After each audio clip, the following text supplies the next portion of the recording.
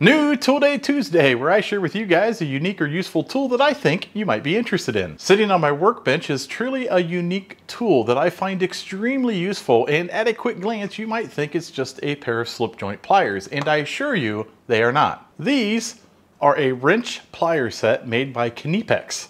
Now, I hear this name said 20,000 different ways, so write down below how you pronounce it, but seeing how it's German, we're gonna pronounce it Knipex. These are basically a combination wrench and a combination pair of pliers. What I use them for is a replacement for an adjustable wrench. And you may be thinking, eh, you're gonna strip it out. No, that's what these are designed for. They will not strip out your bolts and we're gonna talk about why now. I've commonly referred to this style of tool as a slip joint pair of pliers, and albeit they will work kind of as an adjustable wrench, you basically open them up and you adjust them to the appropriate size, and then you can get a good purchase on a nut just like this. The problem with these are they want to slip and you really can't get that much leverage on the nut. Plus they have jagged edges and basically you just end up tearing up your nuts or bolts that you're trying to use these to tighten or loosen. So it's generally understood you really need a wrench, a socket, or an adjustable wrench like this guy. And we all know the joys of using an adjustable wrench. Basically, you adjust it to the width you need to use it as a wrench on the nut, but we all know what happens. It loses its size as you use it. You're constantly readjusting it, and sometimes you end up rounding your nut off anyhow. Now, the Knipex pliers have some dirty little secrets up their sleeve that make them exceptional at gaining a purchase on a nut. The first is the amount of leverage that you can put onto that nut. And you can see how much leverage this has by the amount of movement that's in the handle and the little bit of movement that's in the jaw. Now, they're still slip joint pliers, so to speak, meaning you can slide them up and down to pre-adjust them.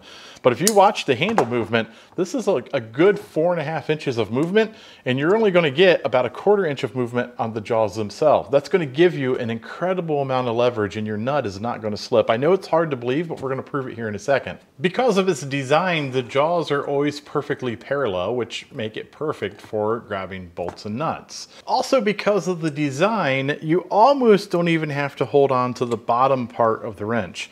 As you're putting all of your force on this guy here, it just wants to tighten itself because the more you move the handle this way, the tighter the jaws get.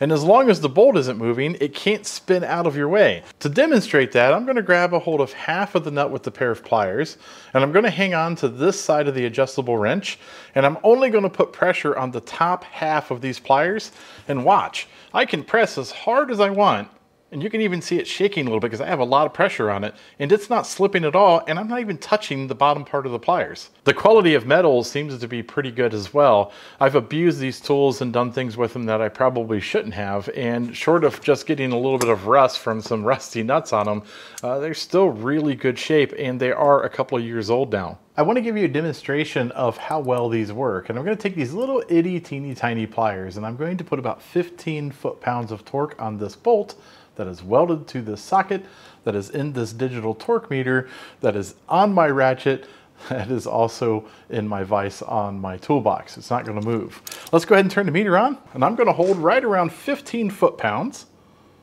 and I'm gonna take my fingers and let go of the leading edge of the pliers. And look at that, I'm holding 15 foot-pounds without even squeezing the pliers. What an incredible design. I can't even tell you the last time I grabbed an adjustable wrench. I automatically go to these guys for the speed and they just work that much better. So there you have my quick and dirty review of the Knipex wrench pliers. I really like them. I think they're extremely good. They're a little bit pricey, but they're well worth that price once you start using them and you realize how well they work. I will put a link down below to these guys. And if you like these types of videos, please like and subscribe. Take a look at some of my other videos. At the very least, you might be entertained.